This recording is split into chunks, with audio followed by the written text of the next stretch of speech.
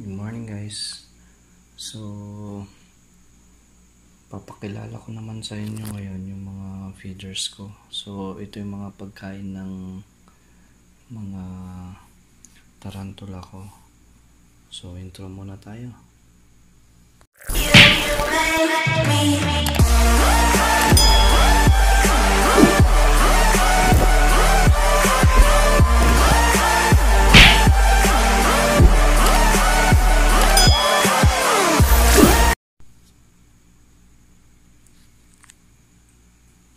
guys, unahin natin yung mga superworms.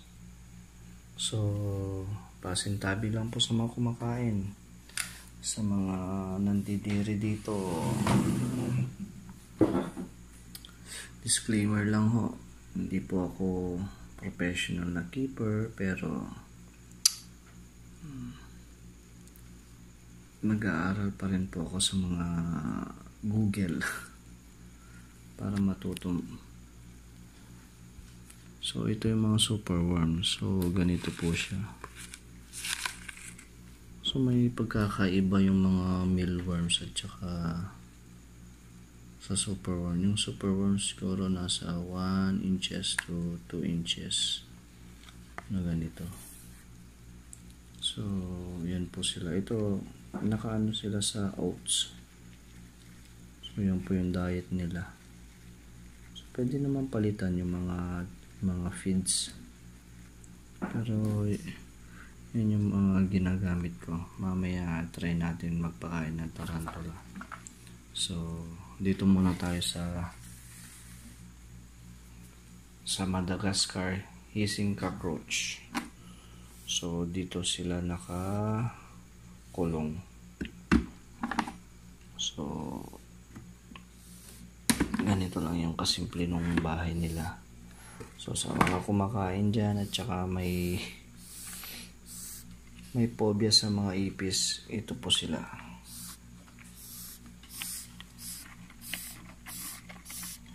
So ganito po yan.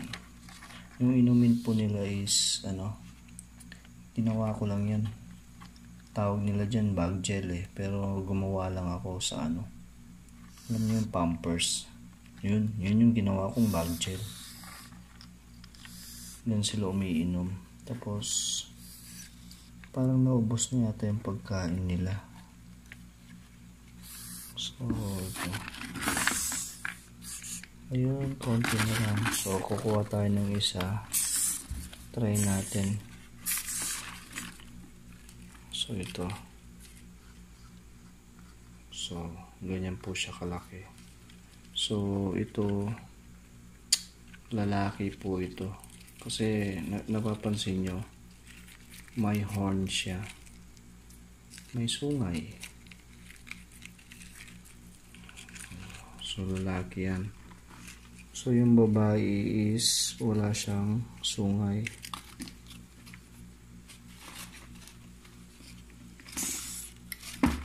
So ito yung mga kinakain ng mga tarantula. Pero hindi pa sila pinapakain ng ganito kasi nagbe-breed pa ako. So 11 sila nito eh. 11 lot sila. So may pair na dyan. Tatlong lalaki tsaka babae. Ayan po. So medyo wala po kasi akong ano eh. Ilaw na maliwanag. Kung may sponsor naman dyan para sa aking vlog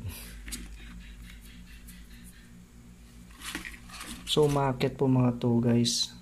So, ang ginagawa ko, syempre, sa kakanood din ng mga vlogs sa site, linalagyan ko ng nito, uh, petroleum jelly para hindi sila lumabas.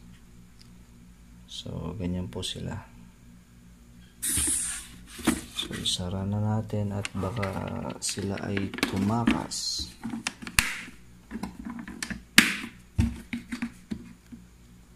So, yung next naman na pinapakain ko is yung tinatawag nilang Dobia roaches. So, yung Dobia is parang hisser din pero medyo mas maliit. Parang ipis na rin siya. So, ganito sila. Yun, lalaki yun. May lalaki na ako.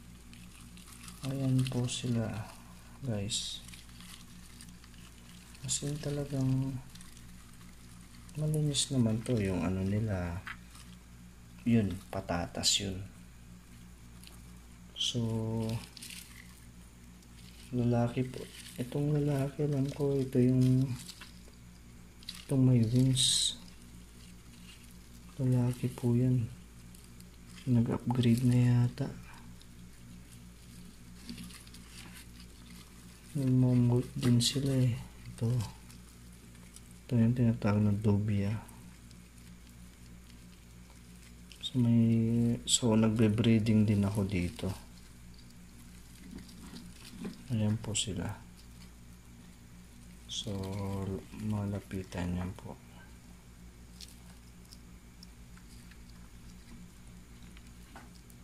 So, kung may ano ka sa mga ipis, hindi ka bagay na mag-alaga ng ng mga ganito. Ito po.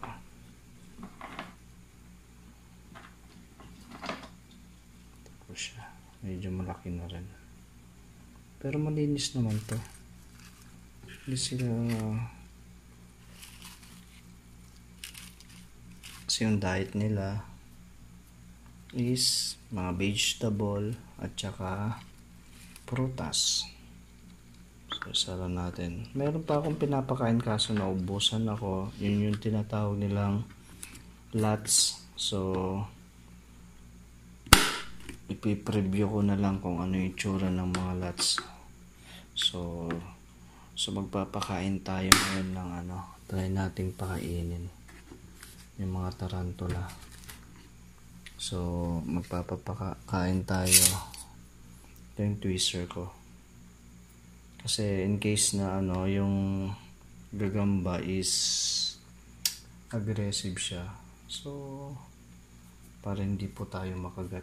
So, tingnan natin. Kukunin natin. Sino kaya ang pipiliin natin? Mas aggressive.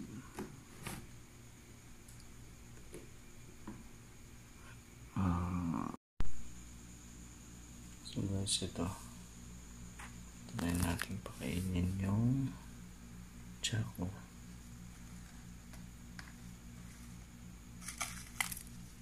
So, ganyan. So.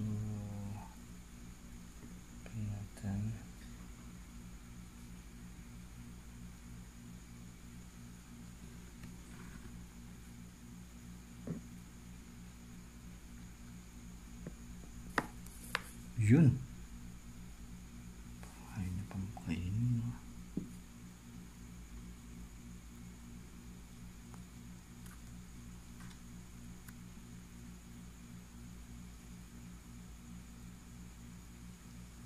Ayaw nang kainin. Nahiya siya. Pakita mo naman, nag-rest ka.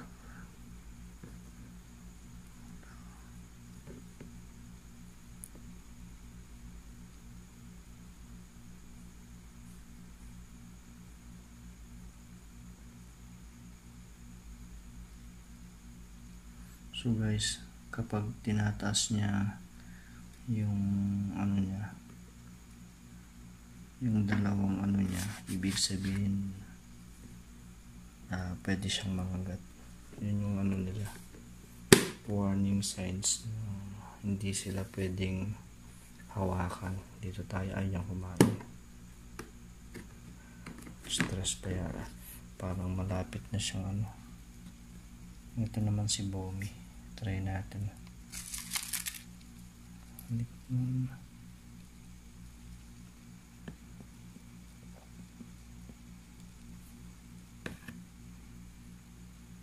Ayaw niya rin. Ayaw niya rin kumain. Pinapayan niyo ako. Nabibideo kayo. Ayaw niyo kumain.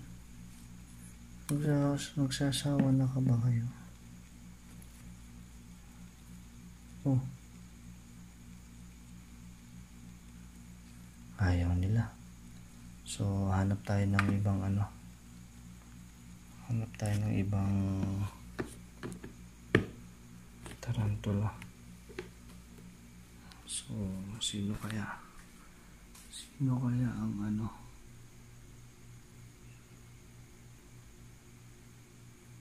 Try natin si Amori.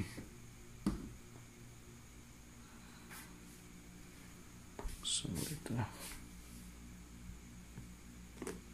ay hindi pala. Si Jenny Culata Labas yata to uy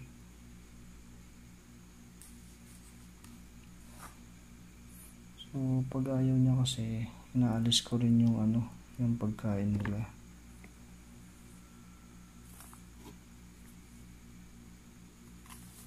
yun Kinain niya po. Tingnan niyo po paano niya kainin.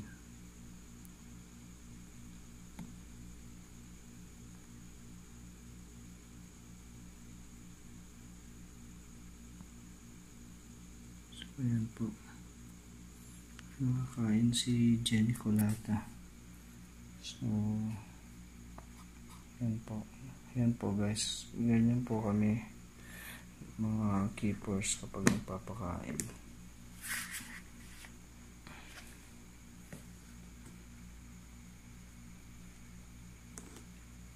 So, kuha pa tayo ng isa. Mga old word.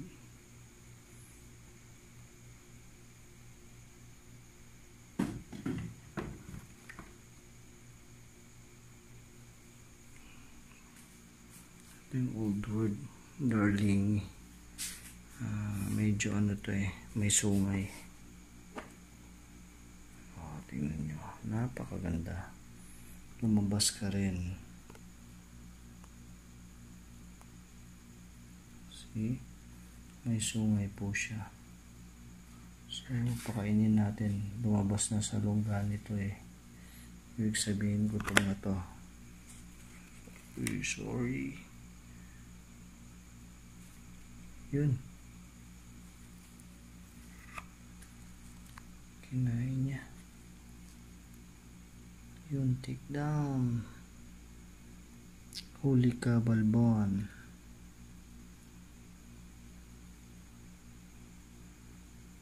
wala po kasi akong ano eh wala po akong